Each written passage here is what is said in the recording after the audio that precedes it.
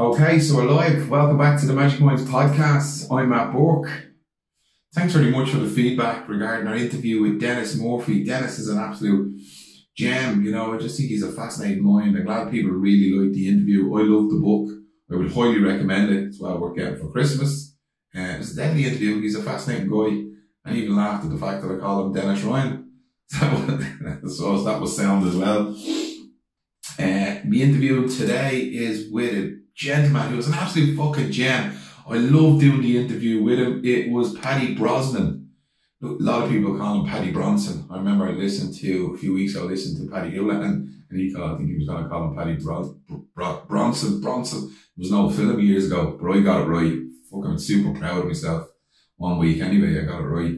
Uh, Paddy Brosnan, legend, legend, uh, meditation, mindful practitioner and teacher, uh, Buddhist, author, Zen warrior. But uh, yeah, he, he wrote the book, This Works. I read the book. Uh, I left it to about a day or two before I was due to, need to finish it off because I really then can feel the book. I remember every piece of it. I take loads of notes. If I read a couple of weeks in advance, I forget about it. I'd actually lose the passion of the book. But I loved it. I absolutely loved the book. Uh, I definitely recommend it.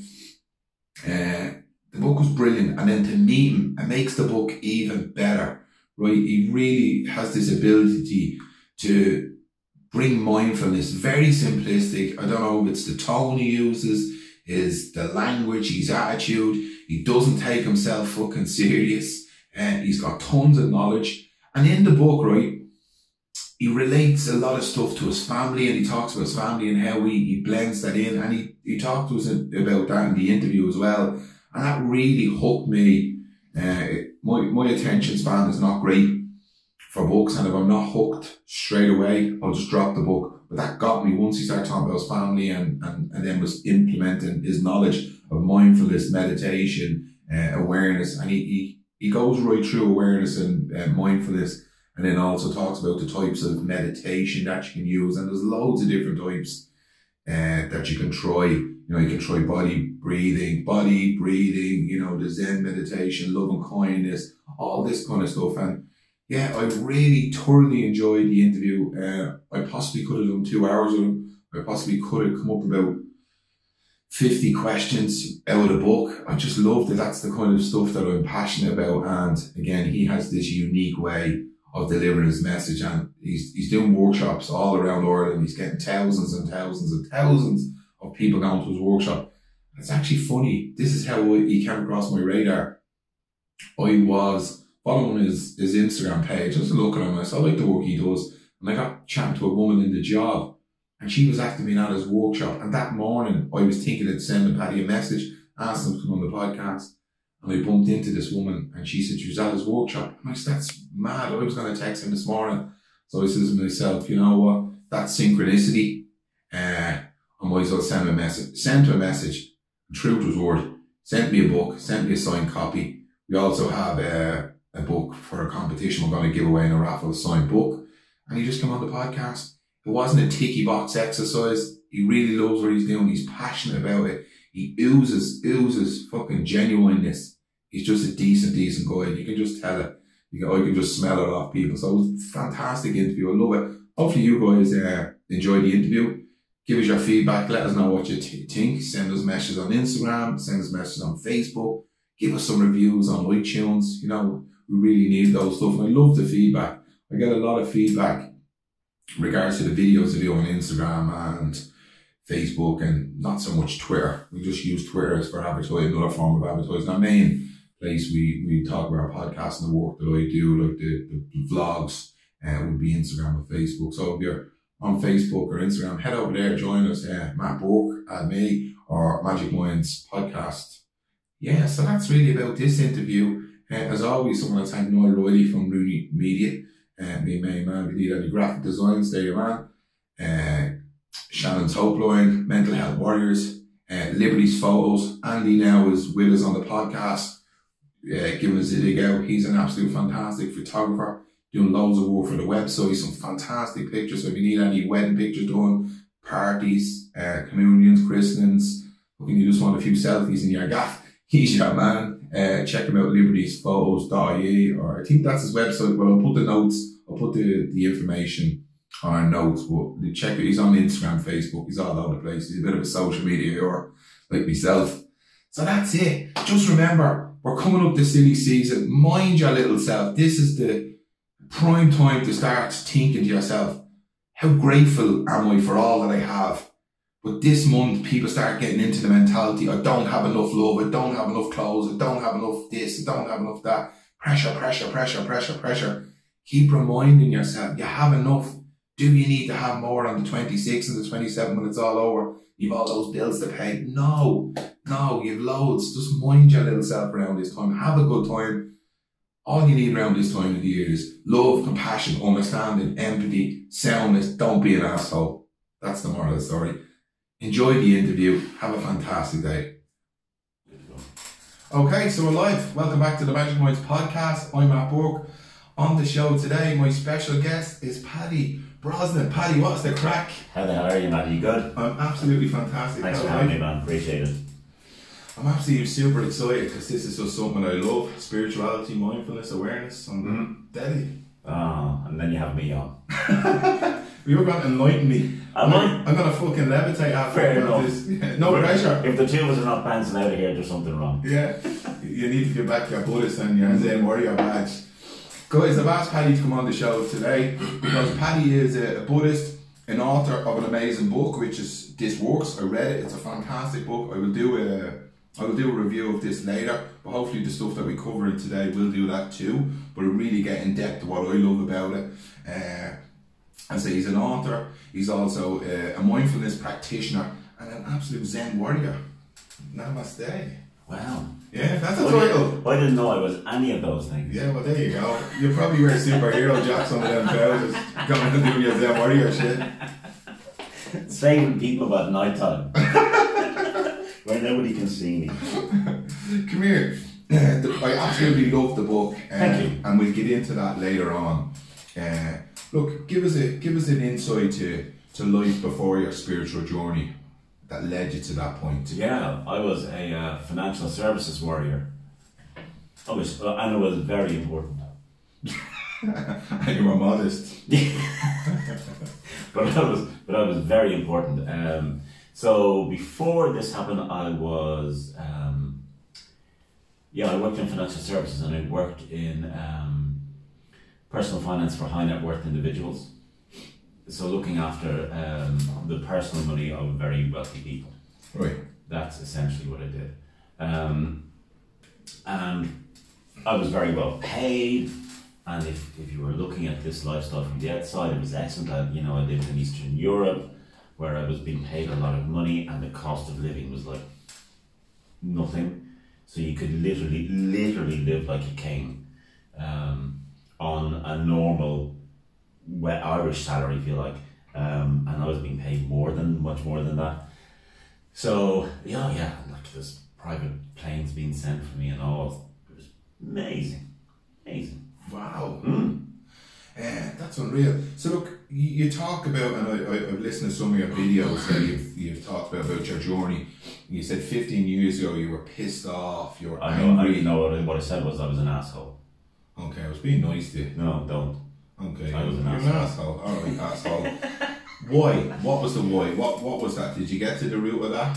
I, I- I don't think so. I, you know, I have to be really honest. I, I, I don't think so, and I don't care what the root of it was. If I'm being perfectly honest with you, I think I think we spend a lot of time, um, and I have this sort of argument with with, with counsellors and and uh, uh, psychologists and psychiatrists who are all friends of mine.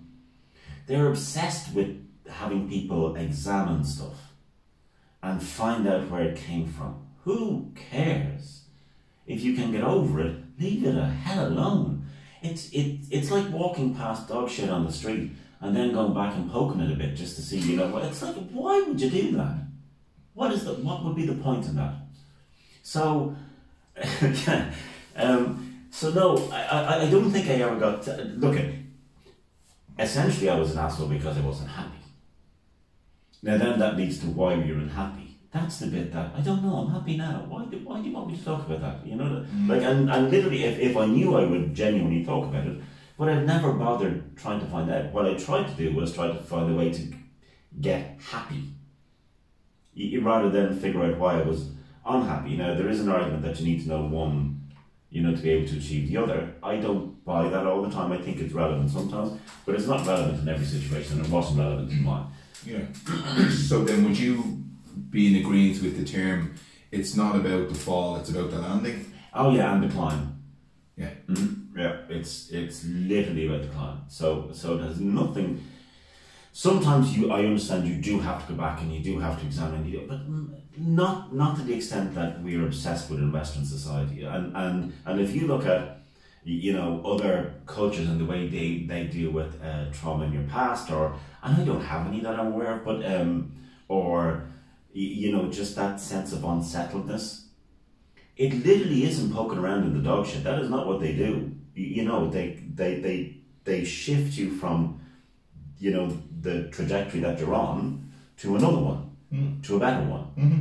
and it's it's literally changing lanes. It's not, well, let's go back down the lane you came from and see what was down there.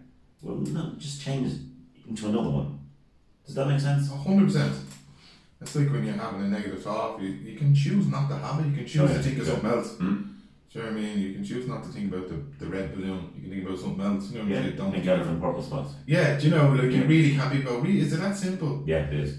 yeah, it is. Yeah, it actually is. Look, I- it really is. I've, ladies and gentlemen, it is. Uh, I've had childhood trauma, right, and, I, and I've delved into and I uncovered what I, I, I needed to know, but I don't go back there, not because it hurts or anything like that, because I'm more about now the climb, the landing, and growing from it. Yeah, You- I'm, I'm assuming you saw that there was no point in poking the dog shit. It's still going to smell. Yeah, Oh, 100%. You know, really, it, it, it's opened my eyes to, it's about the, it's about the, the landing and then, as you said, the climb forward. Mm-hmm. You know, and that's a, it's a, it's a great point you make. So, can you talk us through then the path that you took then? Because they, they seem like polar apart.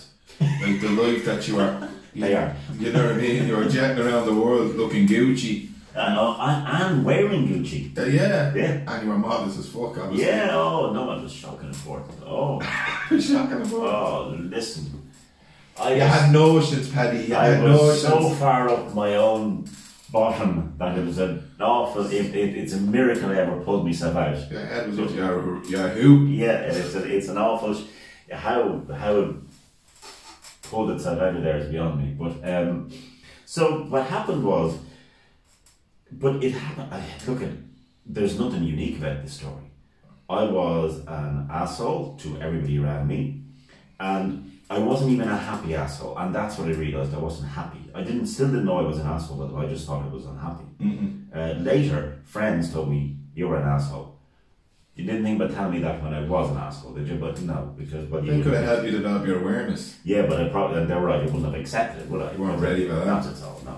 Um, but I realized I wasn't happy. So then what I did was I changed everything outside. You know, that's where that's why I'm unhappy. It's because everything out here is wrong. You see. Blame is easier than acceptance. That's what I did. So I did that. Uh, so I changed my job. I came back to Ireland and I worked in financial services in Ireland.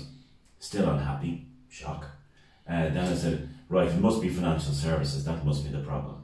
So I said, right, I'll do something completely different. So I trained to be a dog groomer and opened a dog grooming business.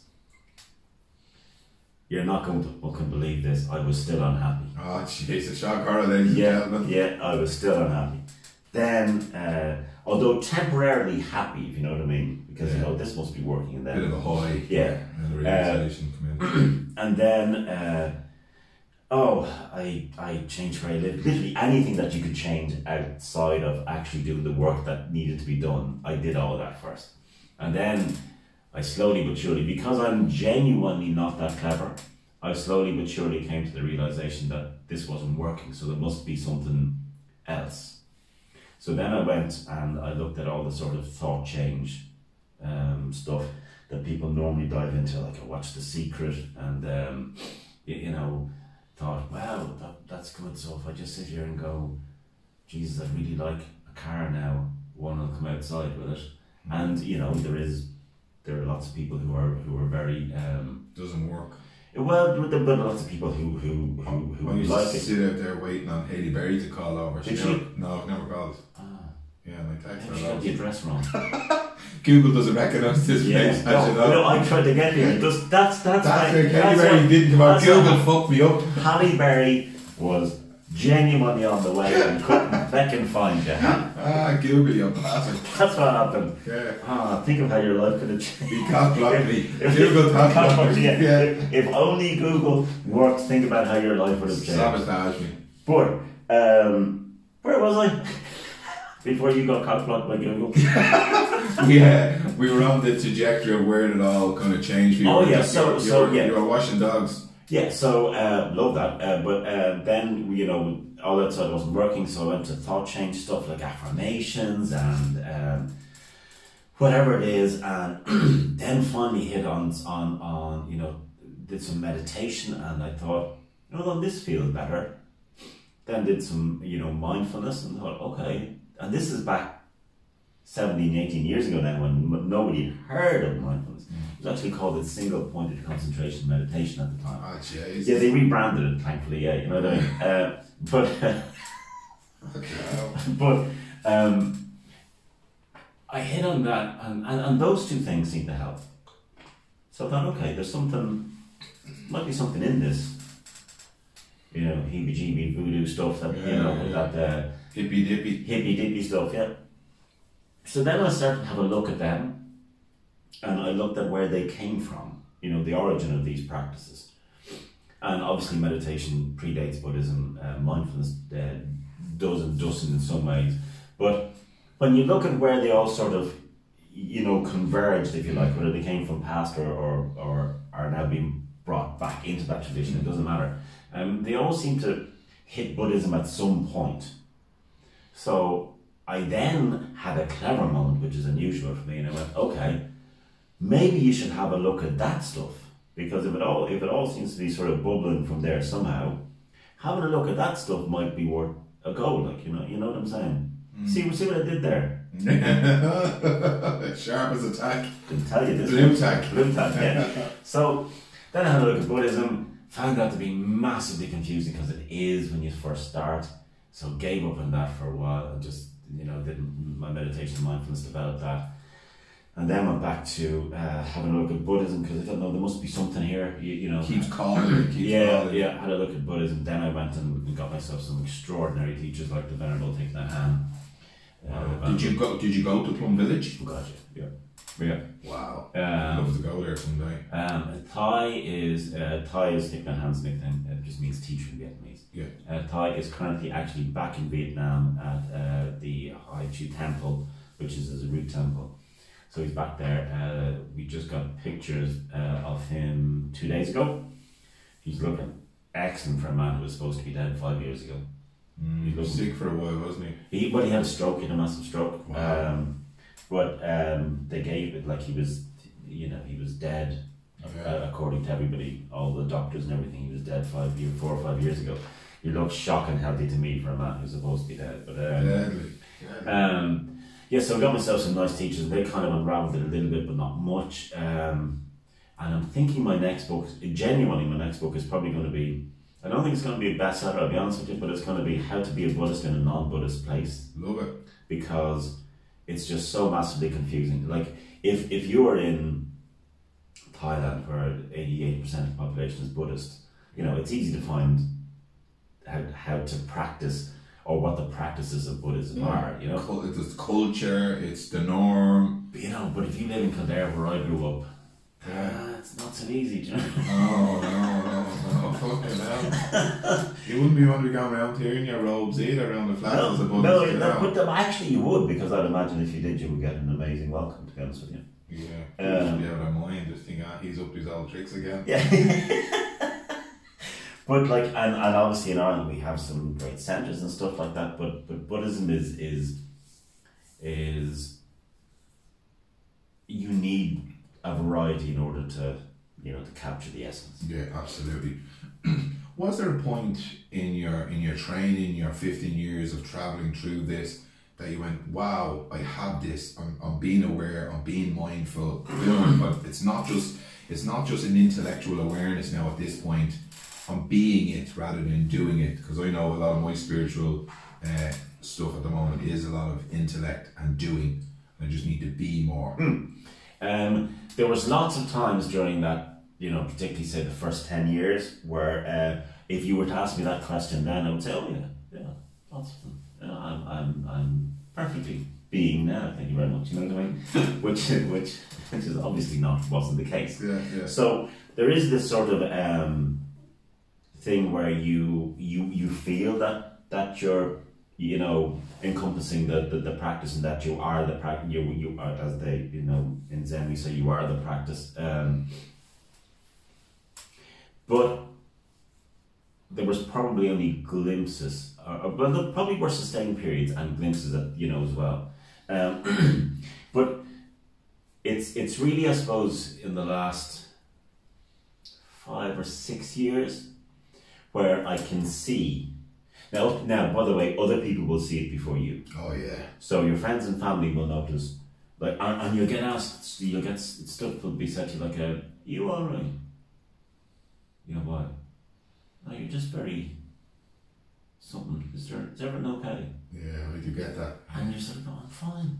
What's wrong with you? And then I'd be thinking, am I gone fucking mad or what? Yeah. Are So- you all right? Am I So- what am Exactly, yeah. So, so, so when you're going through those sort of sustained periods where you are being the practice, if you like, um, that's it. That's when people ask you, you know, you okay? You, you know, is everything all right with you?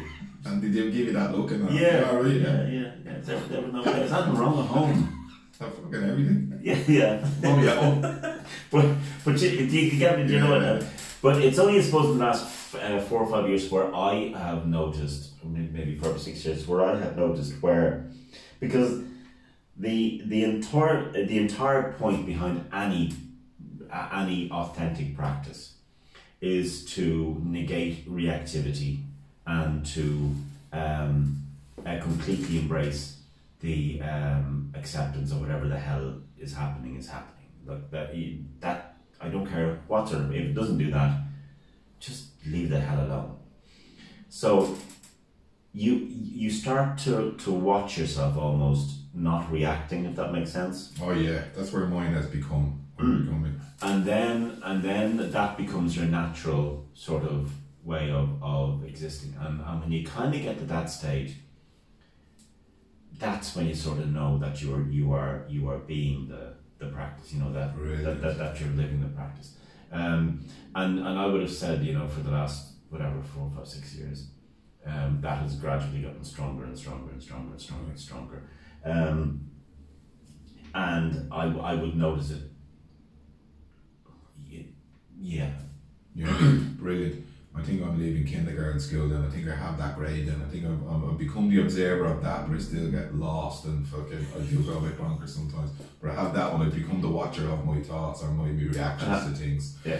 Here's one that's going to segue segues nicely onto this. Jack Kornfield talks about, you know, enlightenment and if you want to test your enlightenment, because sometimes I think I'm all zen and I'll have a sword. Yeah. And then when I meet certain friends or family, that goes out the window. yeah Uh, if you want to test your enlightenment, go spend a week with your family. parents yeah yeah How, how's that for you? Uh, um, it's it, it, it's fairly cool. Um, th- th- there isn't an, there isn't a lot. I'll be honest with you now that, that will that will poke me out of of of, of where I want to be. Yeah, Um, there isn't a whole ton that will poke me out of. Um, or you, you know, you, but you don't have to go spend time with your family if you want to. You know, just do something that used to stress the shit out of you Mm. you know do that and and even if because sometimes outwardly you are you are acting the same as you always did out of habit almost but inwardly you're not feeling stressed you're not feeling annoyed you're not feeling pissed off and that can confuse the shit out of people because the particularly people close to you can say well there wasn't much difference when we were going to the airport with 27 children last week was there Okay, And, and what they mean is there wasn't an awful lot of out because you're still going, okay, I need everybody in a line and everybody in the, you know what I mean? So outwardly you're still doing it, but inwardly there's no, there's no chaos, there's no, Yeah. um, And there's not, like, there's not a lot of petrol being poured on your feet and you're engulfed No. by rage. yeah. Yeah, deadly. How's your family with it? Like, you know, your wife and your kids. Do they practice mindfulness? choice, do they? Do they practice? Just do what I tell them. Uh, do they practice mindfulness, awareness? Are they on a spiritual journey? Uh, Or, you, or you just obviously, my wife is is, is an autonomous individual. um, I'm not, obviously, uh, from her point of view, I'm, I'm a husband, so I clearly can't be autonomous. But my wife is is an autonomous individual, so um, I would never try to, um, in, you, you know, instill or insist or anything else because I think in there lies insanity. To be perfectly honest, yeah. with the kids, um, we I have two boys. We have two boys, um, and they are nine and twelve. Oh, the J's, I got I that right. hope you got that right. Yeah, I'll edit it out for you if there's not. thanks. Send me over the links. Yeah. There and Are you sure that your kids, man? and one of them I'm not terrible with. Oh, about, Jesus. about it, to be honest with you. Wrong Uh, show. That's what. Yeah, Jeremy Kyle. Yeah, different one. Yeah. Yeah. But um, so in, in the morning I wake them up, and um, they pop up into the bed into half lotus. No, they don't. They actually they're in bunk beds and they just sit up in half lotus, and I'll spend like a minute just in a sort of a really simple little meditation, like you know, feel your face or your breath or you know, so I always wake them up and I say, Good morning, today's Tuesday, it's a brand new day, we've never had this one before. You know, this is a day that you can you look forward to. So take a minute, just get rid of grumpiness that, you know, might be there from me, dad waking you up. Yeah. And just, you know, you know, bring your awareness sensation in your face. It's literally a minute or two, and then at most, and then we'll just wander on from there. And we also have um, during the winter, so we'll be starting now. During the summer, it doesn't happen because they're just outside. But um, during winter, we have a family sangha. And it's a sangha is just a collection of Buddhists getting together to do mad stuff, Mad strange shit altogether. Community, isn't it? Yeah. Yeah. Um, and it's a family sangha. So we'll, we'll all go into my meditation room and um, just in case you missed that, I know, yeah, I have a meditation room. So Um, easy to wear. You're still Gucci, aren't you? You're Yeah, still like yeah. your, your boys' toys. yeah, uh, but um, um, Yes. and, and actually, what's mad? Just a quick aside. What's mad is like you know when somebody, you know when their friends come over Yeah. and their friends go, "What's in that room?" And to them, it's just perfectly known. Oh, that's what Dad's meditation room, and you can see the other kids going, "What?" And it's like Yeah. that's my dad's meditation room. What? Yeah, what goes on in there? But but it's like, you mean your dad doesn't have one?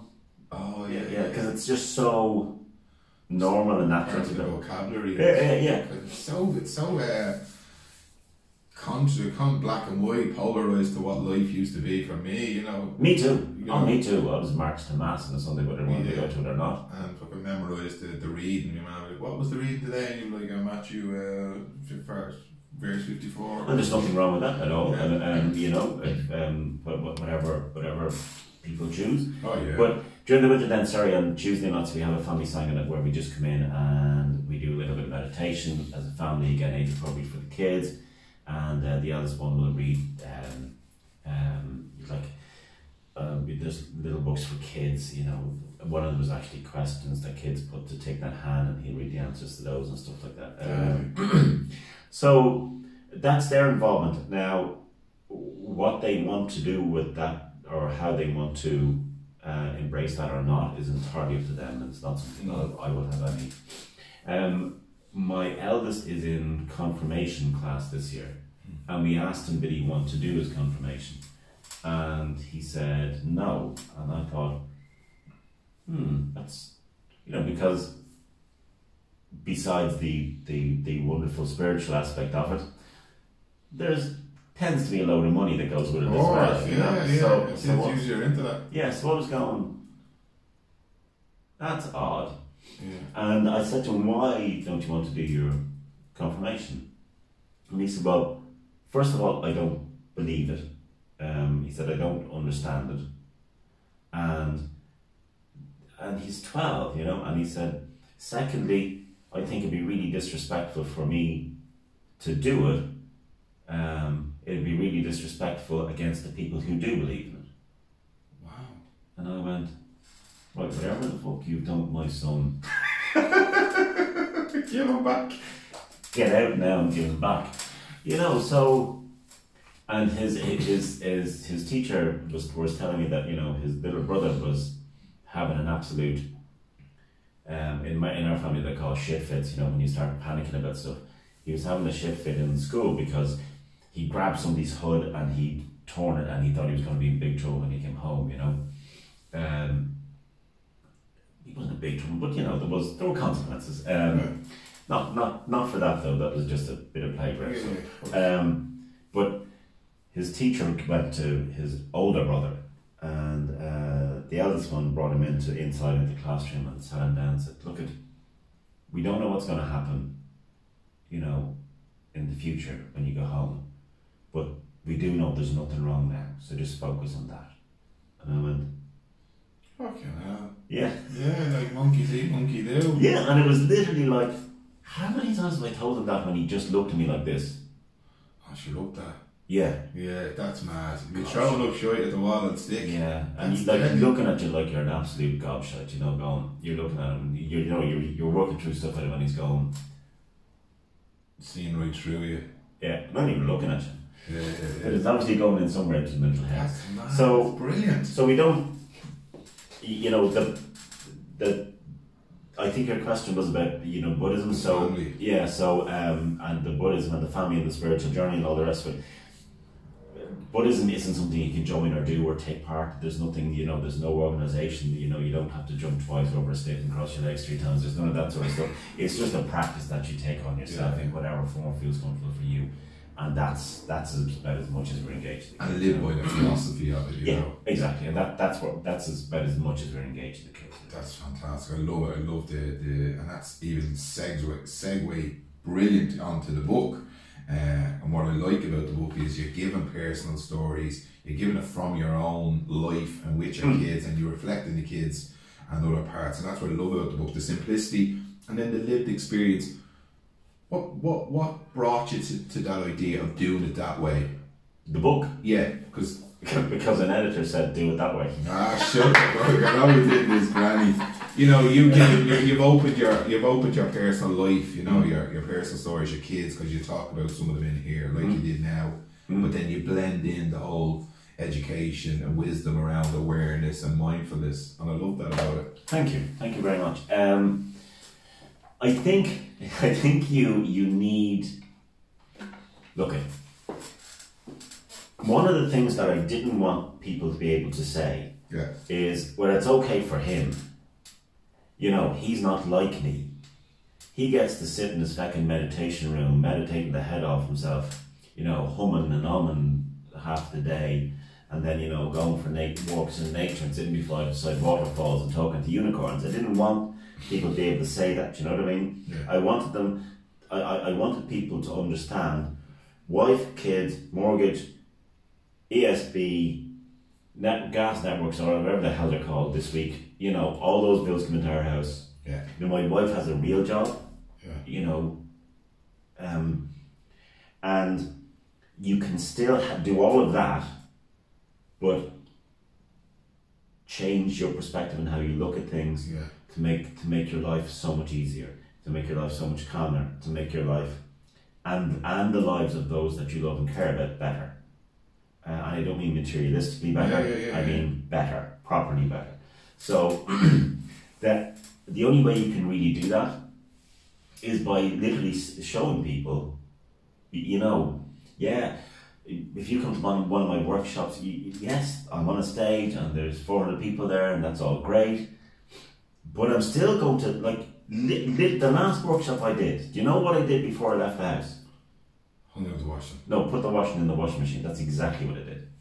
Like literally the last uh, the last thing I did before I left the house. I love the washing story. Oh yeah, uh, the, the last thing I did at five o'clock in the morning before I left the house was, you know, my wife said, "Did you blow the washing last night?" You know, and then Did she not know you were a superhero and you were Yeah. important? yeah, no, I, Fucking hanging out watching. you can't tell some people. Do you know what I mean? Yeah, there's no talking. There's Yeah. no, it's just, and you know, You're all about the bright lights. yeah, and she's like about washing, and I'm That's for the ordinary people. I have a stage to get to. You know who I am, darling.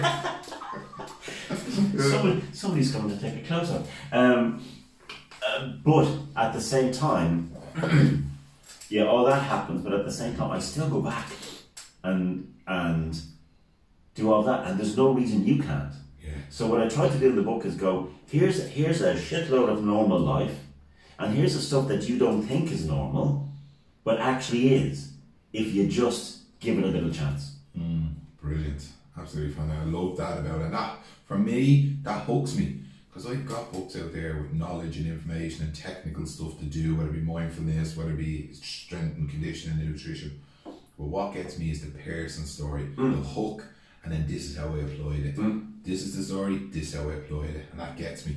And I, you know, and I think that's why I think you're very relatable to people is that because you have that in you and it's important.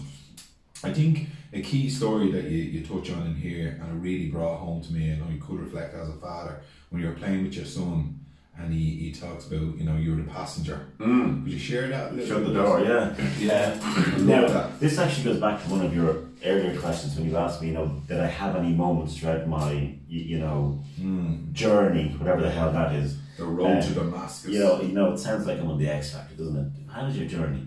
Uh, but um, um, I was playing uh, this. This again is oh, what age is? So it would have been three, so six years ago probably. And I was playing with the youngest one on the floor. And at that stage, I thought, now you know, I, I, I've, I have this thing. You know what I mean? I, yeah, yeah, it's I'm- in the bag. I am shit out of this whole living with awareness and you know, you know, fully present and you know, you know, being the practice. I have this, you know, absolutely. I'm the dogs at this stuff, you know, and then my three-year-old. We were because kids up until about you know the age of cognitive awareness live mindfully. You've never heard a child say, "Geez, I'm really concerned about the events of next Tuesday." It doesn't happen. Do you know what I mean? They're living in the moment. They're living in, in, in whatever the hell is happening now.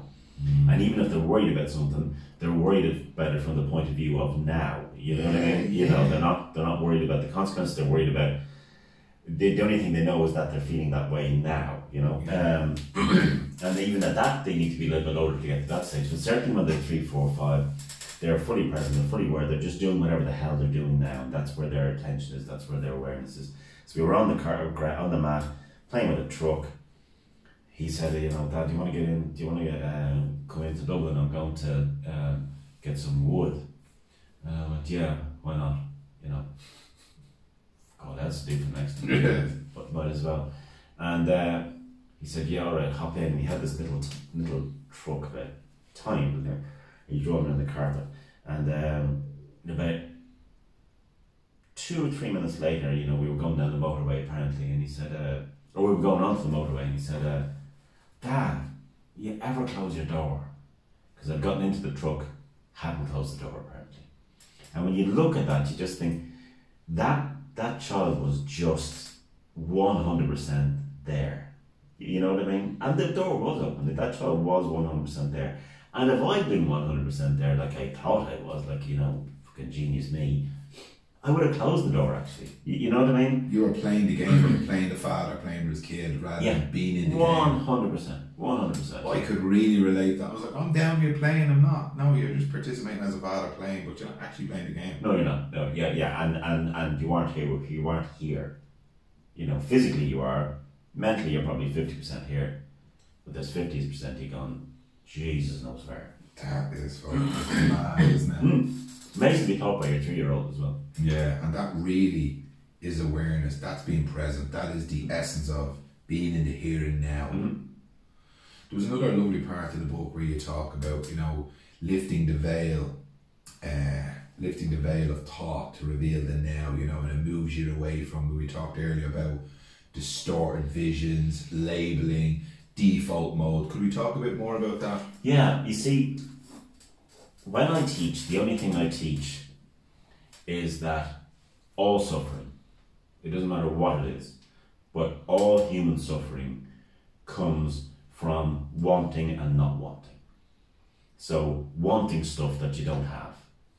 You know, And in, in, in, in psychology, it's called the hedonistic treadmill, where you know I'll be happy when I get the new phone. I'll be happy when I get the If new boyfriend. then, if and then. Yeah, if you know, then. and, and we're sort of postponing happiness until that future point because Jesus, you know, it would be shocking if we were happy now. That would be no point that at all.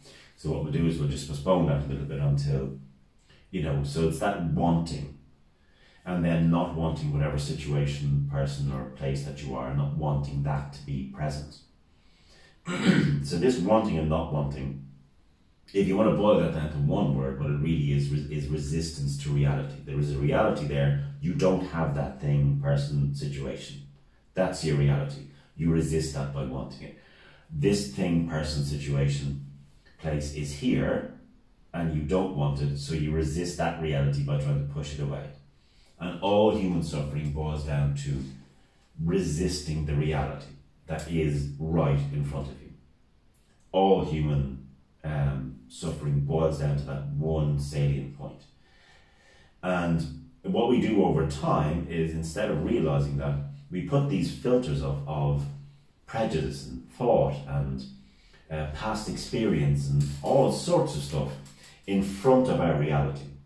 So we get to the point very quickly where we never actually experience what's actually there. We never experience the person. We never that's actually there, the situation that's actually there, the the the event, the place, whatever it is. We we are experiencing through this sort of veil of past experiences, opinions, um, Assumptions. assumptions, uh, prejudices. Absolutely. So we're seeing it through that, uh, and what what building awareness does is it li- and and all of those things, by the way, past uh, experiences, assumptions, prejudice, they all take the form of thought, some sort of thought. Yeah. So what we just put that load of thought between us and the reality that's there. In order we we think to make it comfortable, and I'll tell you why that happens in a second. But it doesn't make us comfortable, it makes us horribly uncomfortable because there's now a juxtaposition between what we know and what we actually experience, you know. Um, but when you when you sort of live with awareness and that's really all you, you work at doing is just as, slow, as slowly or as quickly as you can, just dropping all of those veils, just letting them all go, go, go, go, go, go. The reason why we put up these things, these filters between us and reality, is essentially what what we've done is I mean we've pulled off the greatest con job on ourselves. Because what we've done, Matt, is we have given responsibility for our happiness to a part of us that has no keen interest in our happiness at all. None, zero. So we have given the sole responsibility for our happiness to our mind. Hmm. Like letting a blind monkey drive your car down a hill. No point. It's going to crash. So we and our our mind and our our, our brain mind interface, which is really what we've given our hmm. happiness to, is interested in one thing and one thing only. And it's not our happiness. It's interested in our survival. Survival. It's really good at it. Leave it alone and let it get on with its job.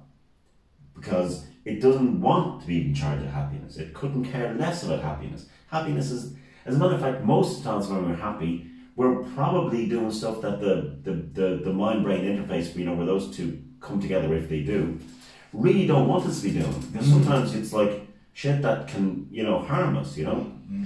But the mind can focus and concentrate on one thing at a time. Just one. You can walk and talk, but you can only focus on one of them, you know?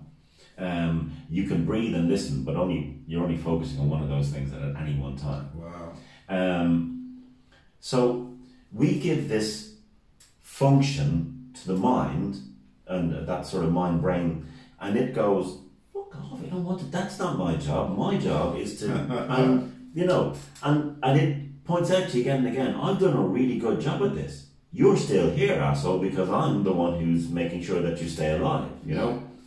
Um, so you that ahead with your happiness nonsense. I'm going to focus on the whole protection thing. So what the mind then does is, when we come up against a situation that causes us, you know, any sort of um, uh, sense of suffering. So even a mild frustration.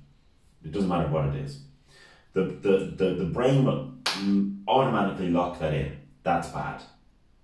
Yes? And then what it will do is it will scan forever for the rest of your life to situations that are like that, To protect you. and they're bad too. Yeah? Yeah. they're bad as well.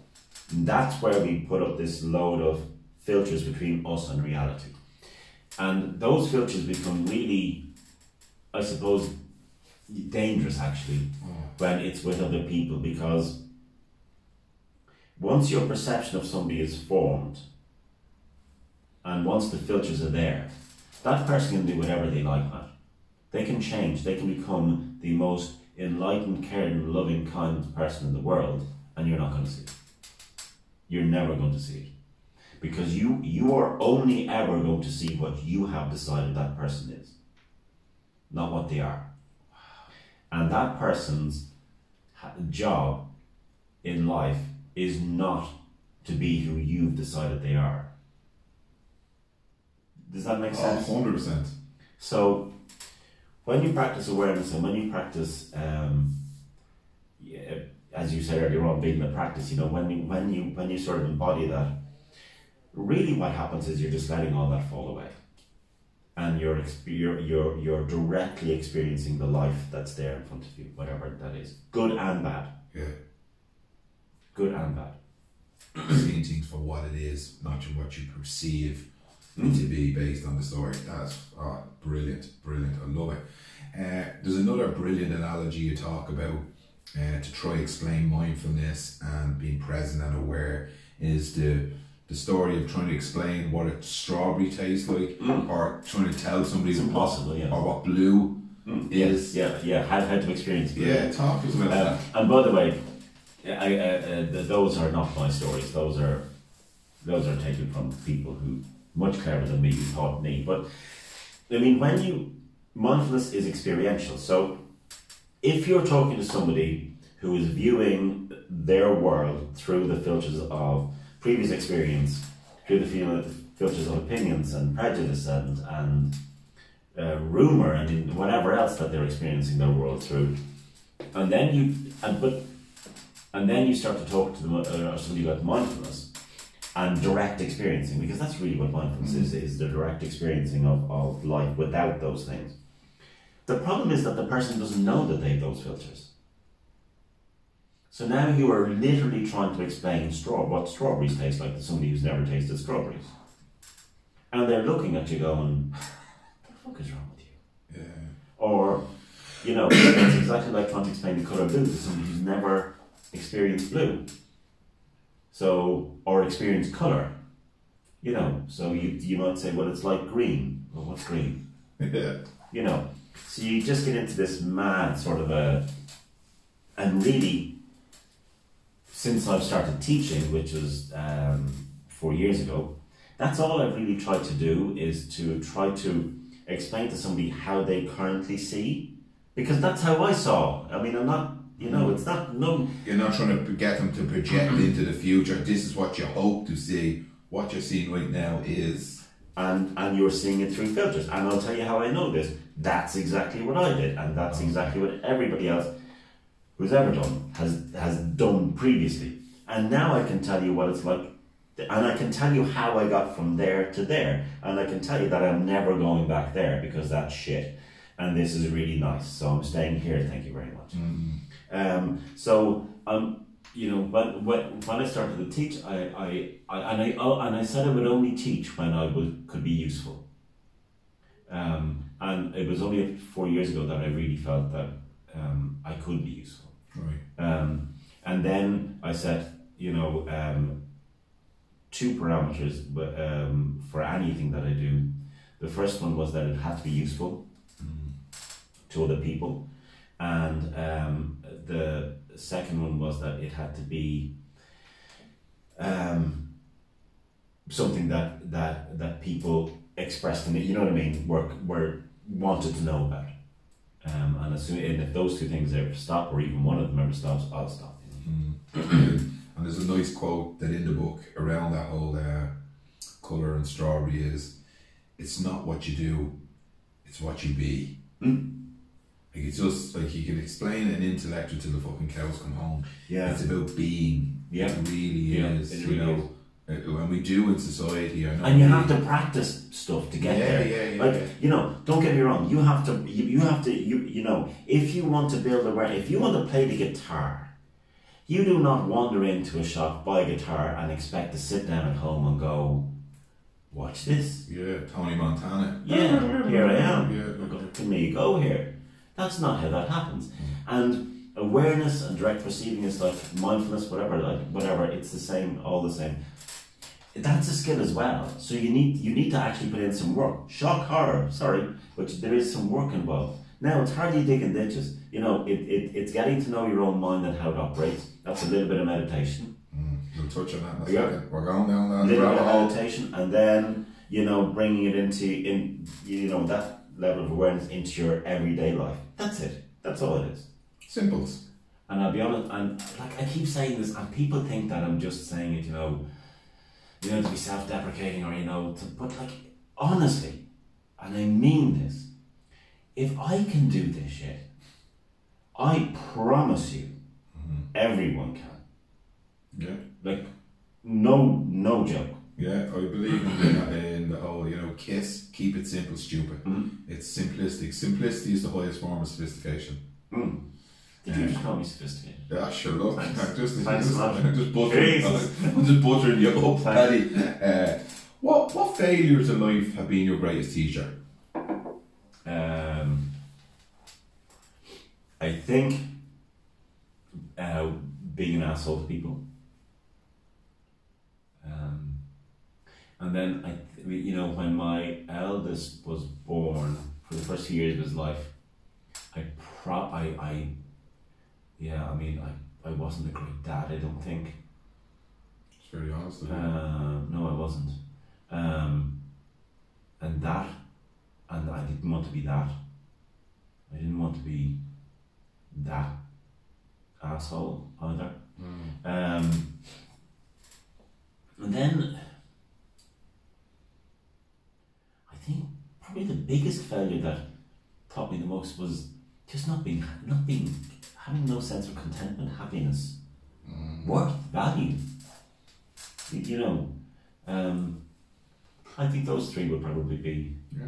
fairly close to the top of my list. Brilliant, uh, great uh, honesty. I appreciate you sharing your vulnerability. Uh, let's get into it. The meditation. I absolutely love the. You know, you talk about you know the Zen and the non-reactive meditation. I wrote some of these down. Uh, the breath work, the open awareness. Uh, fantastic. Can we cover some of them? No. No, no fuck that. Enough of that shit. Uh, yeah, I love them. I'm not being paid enough for that. Yeah. I think I get a nice Gucci glass. Thanks. Uh, I had to watch it as well. Uh, yeah, I love the Zen meditation. I just love that, and then the Mm. open awareness one. Um, just that that um, uh, Zen meditation. Um, whenever my youngest one, who's nine, whenever he thinks of it, he's supposed to do it every morning. He doesn't think of it. Um, um, there is, we have in our house something called a mindfulness bell, and I live in a three bedroom semi detached house, Mm. and it's on the landing, on a, on a bookcase, and um, the mindfulness bell is. Um, you know, say if you know his his he he uses it most actually the youngest one. So if if his brother and his mom or his brother and me are having a, in, in an argument or something, you know, his brother wants to do something and it's not happening, you know, you ring the mindfulness bell, and um, what. And in our house, everybody actually does respect the mindfulness bell. So you just stop what you're doing Yeah. you know and it's a brilliant way to just calm everybody down so you just stop what you're doing and um, you know you take three breaths you, you can wear the in breath and the out breath for three or four breaths. And then you find that whatever the hell was happening just dissipates away anyway you know because you now have a nine year old who's telling you how stupid you are. You know what I mean? Which is which is amazing. Oh, Jesus, it's turning the tide on you. Showing you the mirror. brilliant though. Brilliant. Um, and um, in, in the morning time sometimes he, he rings before he goes to school. He invites the bell to sound in, in, in uh, meditation and but in Zen in particular we invite the to sound we don't hit it strike it smack it kick it we invite it to sound Um, and he invites out to sound, and then um, he or his brother will actually do that breathing, breathing in, I feel calm, breathing out, I small, breathing in, I feel calm. We'll do that a few times before they off. Um, but that Zen meditation is again not mine. It uh, belongs to my um, um, one of my teachers, the uh, venerable Thich Nhat Hanh. Uh, he does know that I robbed it. So Bit of plagiarism. yeah, Yeah. And that's the kind of, and you cover that in the book. and you I talk about literally changed nothing. I- Yeah, I and that's what I like about robbed it. Yeah, and you and you're quoted in there, Thich Nhat Hanh, Jack Kornfield, all these uh, spiritual Buddhist leaders. Yeah, Uh, and that I stole shit from. yeah, yeah, yeah. We're all the way over in Ireland. Come get it if you want. Yeah. Forever an asshole. Yeah. Uh, and I like that you talk about the formal Can, can I just point out, I told them before I stole them. Allegedly. It's for a friend. Yeah, well, you can't prove it. And I love that in it. And the meditations are class you know, the meditation of breath, the body, open uh, awareness meditation, the Zen meditation, non reactive, walking meditation. The only one I didn't know about was the, the Tonglen meditation and fear. I love I love uh, love a kindness meditation, one of my favourites. Metta meditation, yeah. Yeah, Metta Bhavana. Um, the Tonglen is is is a, a counterintuitive meditation, in the sense that in most meditation practices that are not, um, and uh, I'm going to get in trouble for this, but that are not mindful meditations or are not, you know, part of a traditional meditation. So in these in in in, in the sort of um, because meditation is, is, is either a traditional source meditation or a sort of a feel good meditation. You know, um, so in a lot of the feel good meditations, you have the you know I breathe you know breathing in white light and and cleansing and all that sort of stuff, um, um, which certainly would not have any place in a Zen uh, monastery, but. Um,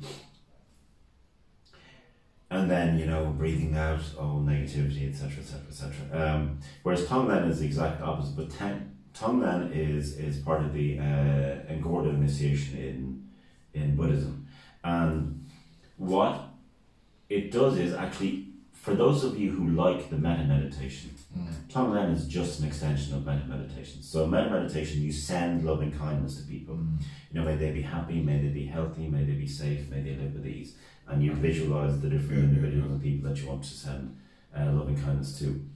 In Tonglen, it's exactly the same, except you reverse the process. So you just imagine. So if you know somebody who is suffering, uh, either physically, mentally, or through a situation, you simply imagine taking that suffering from them and breathing it into yourself. Then bringing it to your heart through the heart of loving kindness, purifying it, and bringing it back to Wow. love it. yeah. But and that's Tonglen meditation. Yeah, no. One of my favorite meditations, and I'll tell you why it's one of my favorite meditations. It's not only is it a formal meditation, it's also a real life meditation because I break meditation down into two: formal and real life. Um, and Tonglen is both. So if you see, so if you're walking outside here, and you see, you know, uh, uh, somebody struggling with two kids in a pushchair, but she looks like she's going to kill you if you try to help her, Mm. which can happen. You know. Um, well, then you practice Tom Tonglen right there, walking down the street, and you see that she's suffering, and you breathe that in, and you you you visualize and and with a genuine um, sense of absolute loving kindness for that person, you know, bring it to the heart to your heart of loving kindness, and then bring it send it back to her with, you know, um, no suffering. You know, so you can literally practice it in form meditation, but also walking in the street and read that meditation. Lovely, and that now brings me on to another brilliant story in the book, and which will be great for the Irish mammies. I love the meditate, the mindfulness from mammy. Mm. Story. I just thought that was class, and just like that, you just practice it. The mindfulness, awareness, boom, at any given time, and the chance that you probably hear mammy ten thousand times Yeah. a day if you're So- Irish mammy. So what happened was um, um, a GP contacted me, and he said, um, "I want you to speak to this lady. Um, she's going through a really tough time. I can't. Her, her medication is, is not going any further. Um, but I'm I'm worried. I'm concerned. So I went out to see her, um, in her house." um, which he arranged.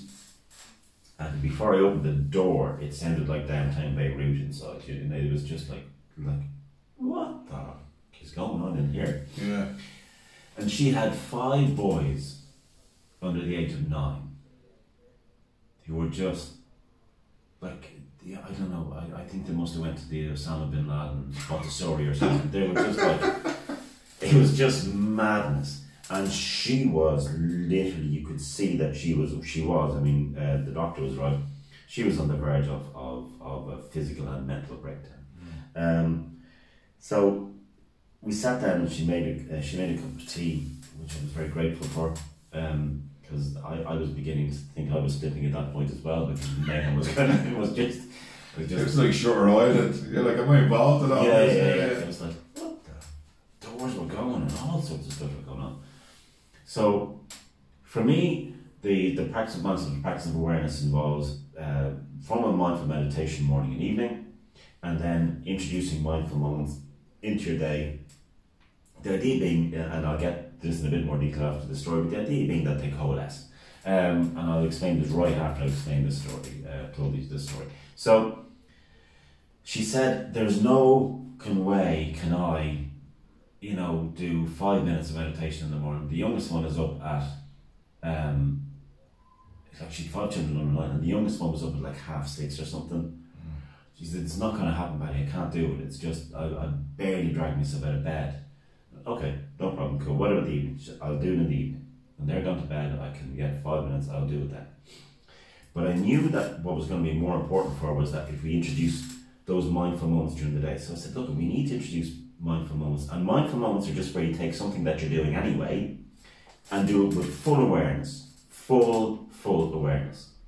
So, like if you're washing dishes, you're fully immersed. And she said, that all sounds lovely, Paddy, but like I, you know, I throw di- I throw stuff in the sink, and you know, if the dishwasher's full and it gets washed in a second, because one of them, and then she, she didn't use the phrase "lovely children," Yeah. but you know, you know, A bit more descriptive. yeah, yeah, a little bit. You know, one of those damn lovely children is going to start screaming at us. Suddenly lovely.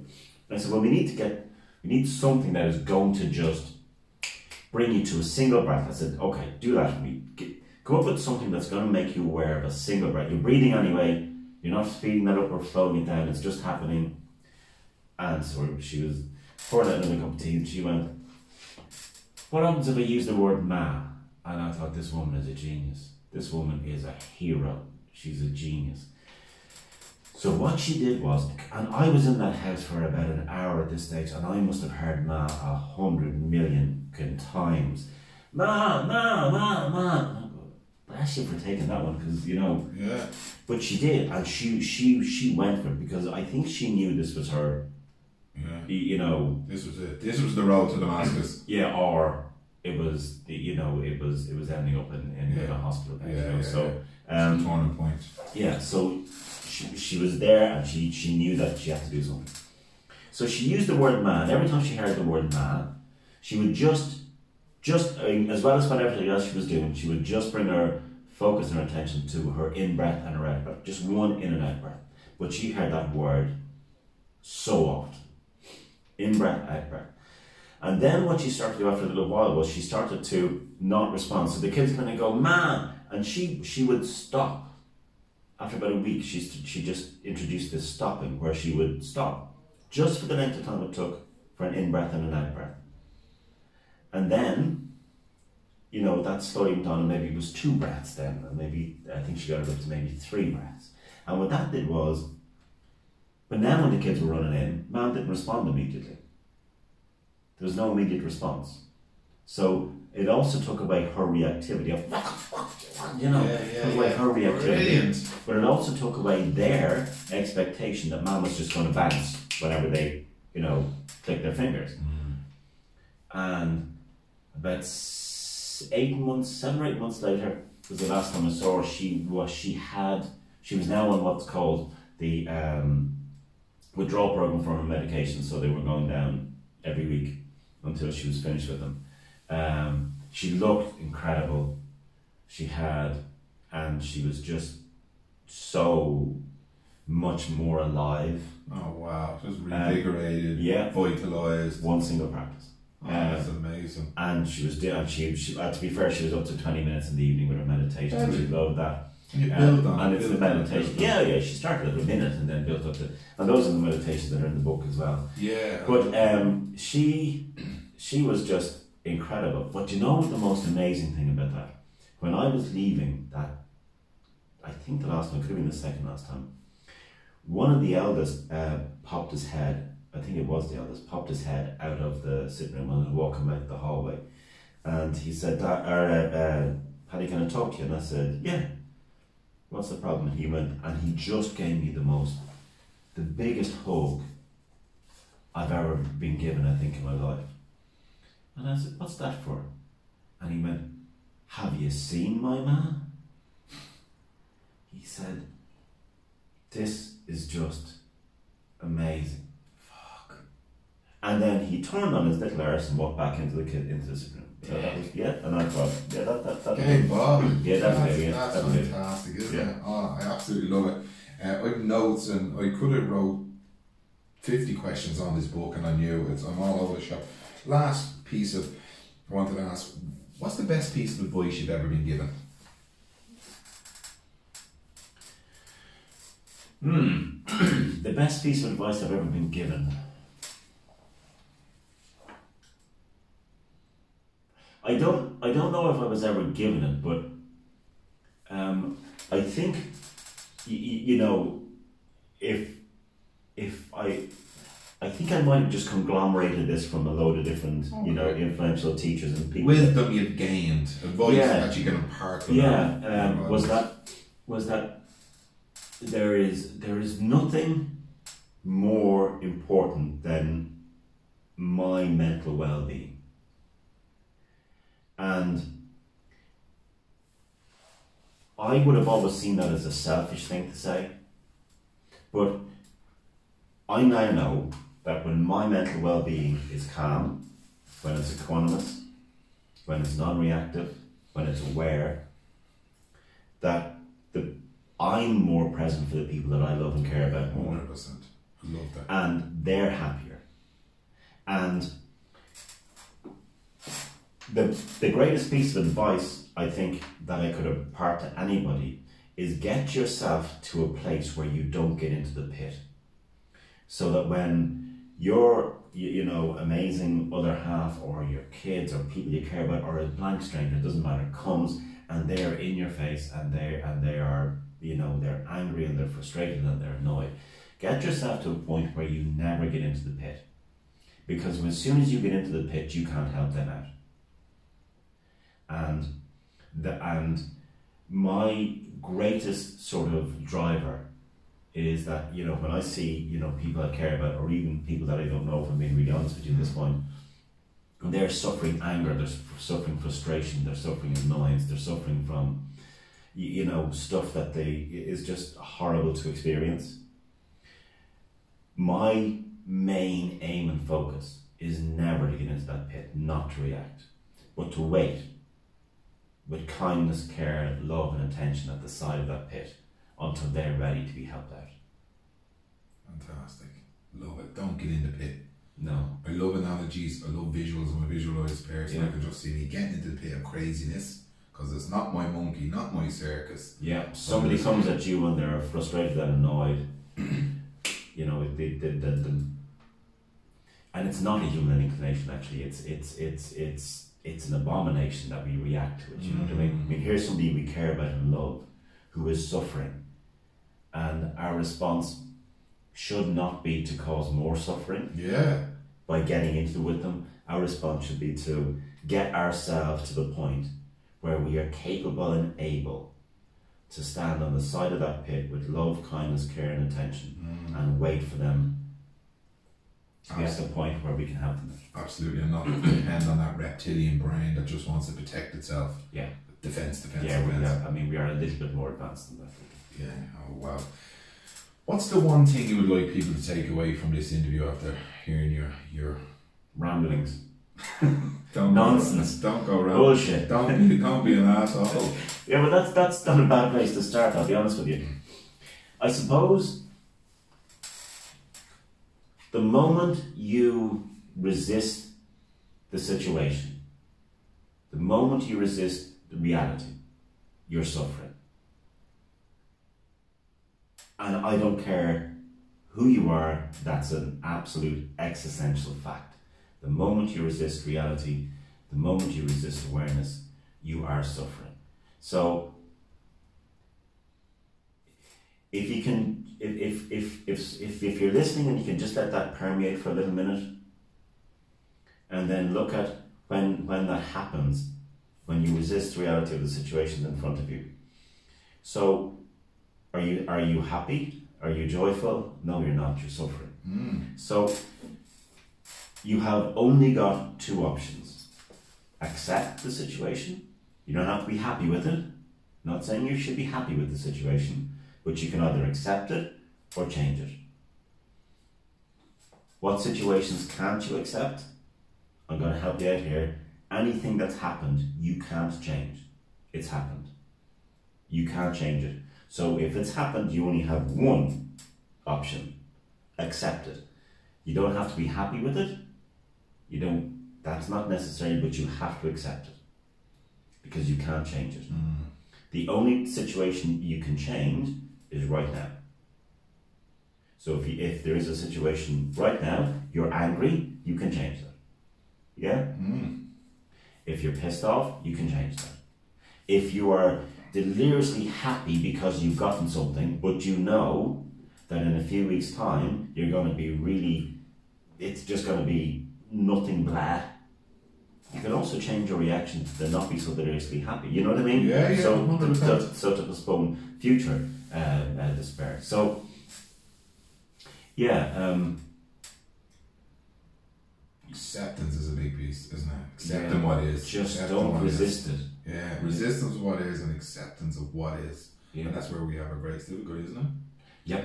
But once you get to the point where you understand that resisting reality, resisting the situation, resisting the person, resisting the place, resisting anything is what is the is the cause of all human suffering.